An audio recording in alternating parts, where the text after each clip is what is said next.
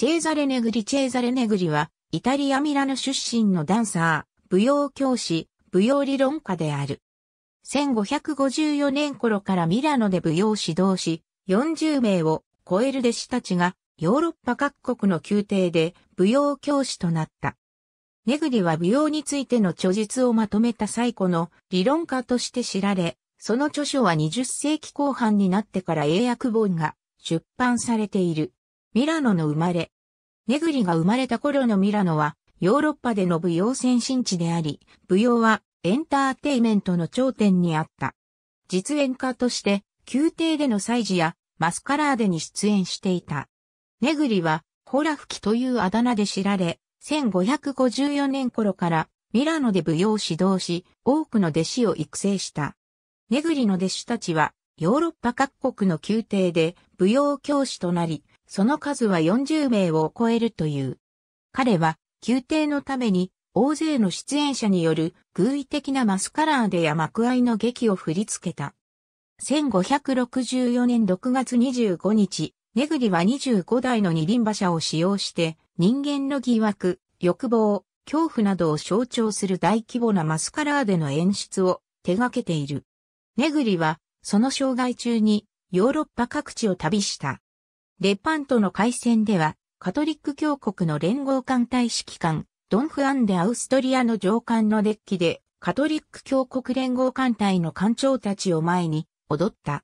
後に、ミラノでも、ドンフアンデ・アウストリアのために再度踊りを披露した。アンリ三世がポーランドから王位請求のためにフランスへ旅立った時は、クレモナでネグリとその弟子による踊りを鑑賞した。マジェンタでもアンリ三世はネグリたちの踊りを鑑賞した。結局ネグリはアンリ三世の旅にアルプスまで付き従っていった。ネグリから教えを受けた弟子たちは、ヨーロッパ各国に旅立っていった。弟子たちは、パルマ、ボローニャ、ケルンなどで王侯貴族に仕え、新たな舞踊を広めた。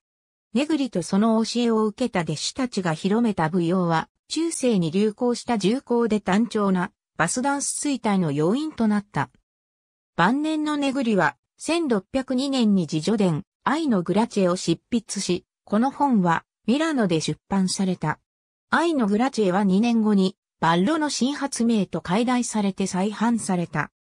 バッロの新発明は3部からなり、第1部は総論、第2部は55種にも及ぶ舞踊技術の規則についての解説、第3部はリュートの楽譜と振付詳細を含むパバーヌなどの実際の舞踊を取り上げている。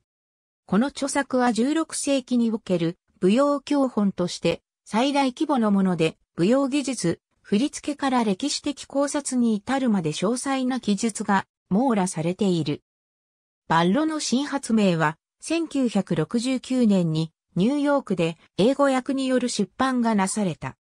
オックスフォードバレエダンス辞典 P359 では、ネグリが各地の宮廷のために振り付けを始めた年を1569年と記述している。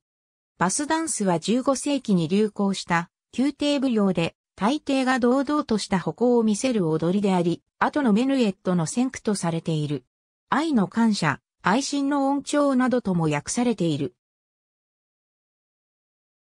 ABCDEFGHIJKLM オックスフォードバレエダンス辞典 P359 ABCDEFGHIJKLMN、OPQ レーナ、ピアニッシモ、20から21、オックスフォードバレエダンス辞典 P382、ABC レーナ、ピアニッシモ、22から25、AB、バレエとダンスの歴史欧米劇場舞踊誌、ピアニッシモ、14から16、ABCD、ルネッサンスダンス、The Collections at the Library of Congress、2015年2月18日、閲覧。